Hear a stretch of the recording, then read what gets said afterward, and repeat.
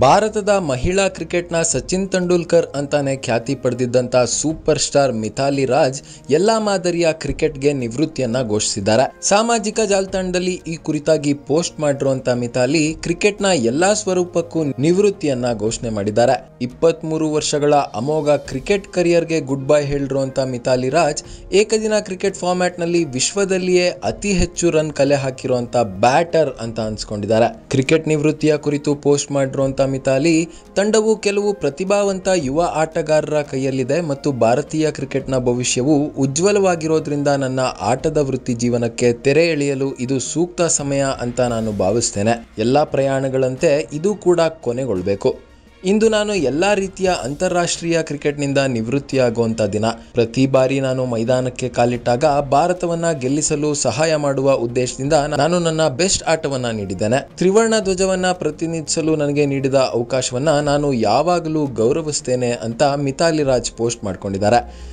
ಸಾವಿರದ ಒಂಬೈನೂರ ತೊಂಬತ್ತೊಂಬತ್ತರಲ್ಲಿ ಅಂತಾರಾಷ್ಟ್ರೀಯ ಕ್ರಿಕೆಟ್ಗೆ ಪಾದಾರ್ಪಣೆ ಮಾಡಿದಂಥ ಇವರು ಶ್ರೇಷ್ಠ ಭಾರತೀಯ ಮಹಿಳಾ ಬ್ಯಾಟರ್ ಅಂತ ಪರಿಗಣಿಸಲ್ಪಟ್ಟಿದ್ದಾರೆ. ಅವರು ಎರಡು ಬಾರಿ ಐವತ್ತು ಓವರ್ಗಳ ವರ್ಲ್ಡ್ ಕಪ್ ತಂಡದ ನಾಯಕಿಯಾಗಿದ್ದು, ಇನ್ನೂರ ಮೂವತ್ತೆರಡು ಪಂದ್ಯಗಳಲ್ಲಿ ಏಳು ಸಾವಿರದ ಎಂಟುನೂರ ಐದು ರನ್ಗಳನ್ನ ಗಳಿಸಿದ್ದಾರೆ.